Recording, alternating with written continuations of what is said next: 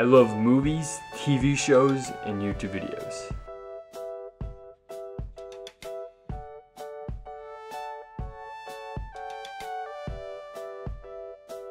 Most importantly, I love making them. Sometimes life gets in the way of doing the things I love. Whether it's school or video games, there are times where I'm not doing the things I love. I hate that. I want nothing more to make videos and share them with you. I battle the daily struggle of making excuses and trying to find time.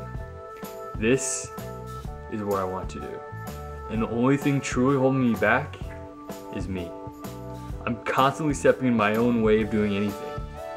It's easy to be distracted by video games and other pointless activities. And I'm the only one allowing that to happen. I always look at my YouTube channel and think, if only I had more time, that video would be awesome. And yet I sit here with all the time in the world and have nothing to show for it. I always think with more planning and time, I can make something truly amazing. I've yet to accomplish that. This is a message to myself to make something awesome. Stop holding yourself back and make what you've always wanted to make.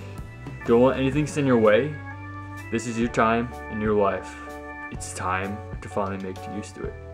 If this is truly what you want to do, then prove it.